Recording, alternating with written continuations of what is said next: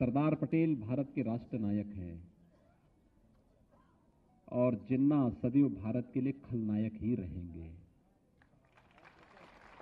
जो लोग खलनायक का सम्मान कर रहे हैं, क्या आप उसका समर्थन करेंगे? क्या जनता को बताएँगे?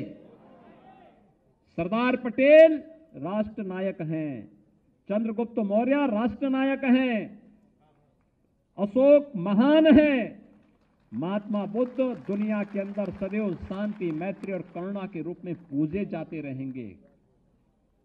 लेकिन जो लोग आज जिन्ना का समर्थन कर रहे हैं, एक प्रकार से तालिबान का समर्थन भी कर रहे हैं। तालिबान के समर्थन में नारेबाजी तो वहीं से शुरू हुई थी ना? तालिबान के समर्थन में इन्होंने ही वक्तव्य दिए थे ना? इसलिए भाइयों बहनों हमें इन सब बातों को समझने का प्रयास करना चाहिए।